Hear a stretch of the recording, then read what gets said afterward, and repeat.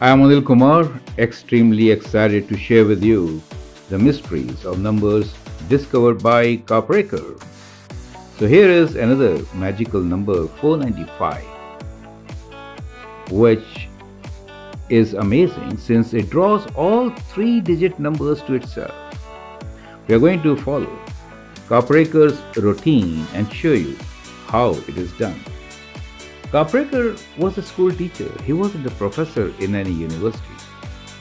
He used to cycle from a village to, to the next in 1900s and teach students mathematics. His passion for math brought him to limelight when the American scientists discovered him. Martin Gardner. He shared Kaprekar's numbers over the world, and then Kaprekar's numbers got their own name. And he discovered many numbers, which we are going to reveal in our book, which is inspired by math, mainly by our mathematicians. In one of our videos, we have seen Kaprekar's constant 6174, which works for four digit numbers and the same procedure, which is known after its name as Kaprekar's routine, also works for three digit numbers. So we are going to see what happens when three digit numbers are taken. So first, let's review what is this Kaprekar's routine. So in this case, since we are taking three digit number, what you need to do is choose any three digit number, right? So I love this number 276 so I'll start with 276, right? So, so that is a three digit number which I've taken. Important thing here is that not all digits the same, right? You cannot have 222, right? Great. Now, rearrange its digit to make biggest and smallest. So, from these digits, can you tell me what could be the biggest digit? Well, 762 will be the biggest right? Smallest will be 267, right? So 267. So you notice if we reverse the order, the place value changes, right? The number in ones place comes to hundreds and hundreds place goes to ones. So we get the reverse order. Perfect. So in three digit numbers, you can see what a beautiful symmetry it is. Now the next step is to find the difference between the two numbers, right? Now subtract.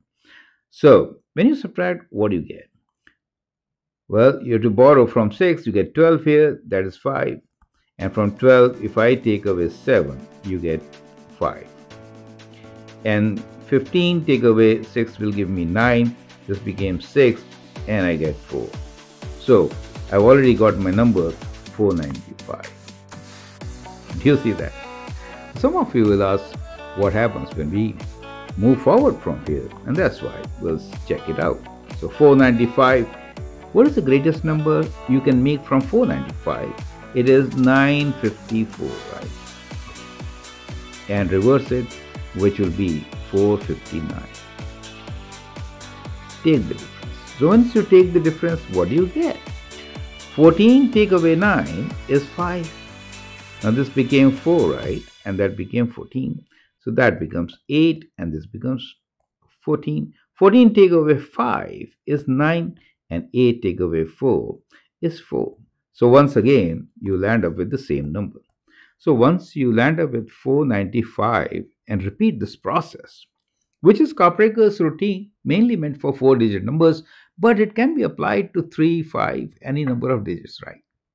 So when we apply, you see, any number you take will end up with 495. Well, is it true? Let's take some other number and allow allow you to let's take some other number. I would like you to practice with me and just check how does it work out, right? So what number do you prefer? I'll take up 341 this time. Okay. So I'm taking 341. Okay. So from 341, I can make two numbers. One, the largest of this will be 431, right? And the smallest will be 134. Now let's take the difference.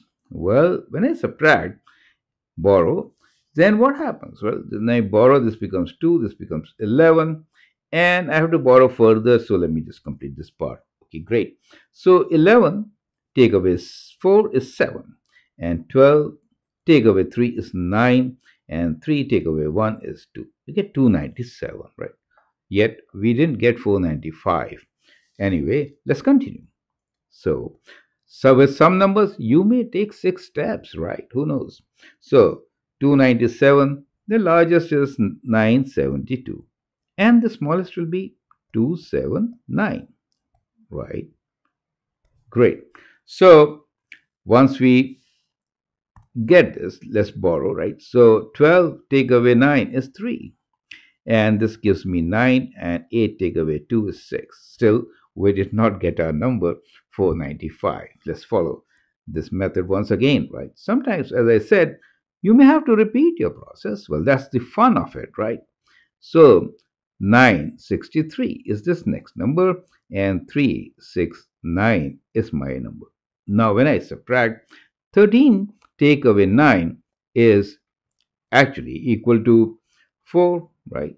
And this I get 9 and here 8 take away 3 is 5. So I did not get 495, but I got 594. So I need to continue this process with 594, right? So now I'm moving this side. So I get the number 954. And from this, I'll subtract 459 and see what do I get. Well, 14 take away 9 is indeed 5.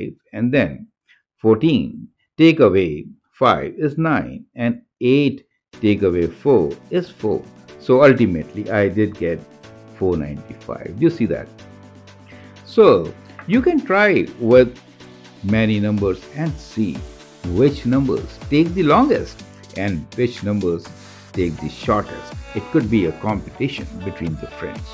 Working with numbers and discovering new patterns is what we learn from Kaprekar, a mathematician who did not give you formulas, but who showed you techniques of finding and discovering mysteries hidden beneath these numbers.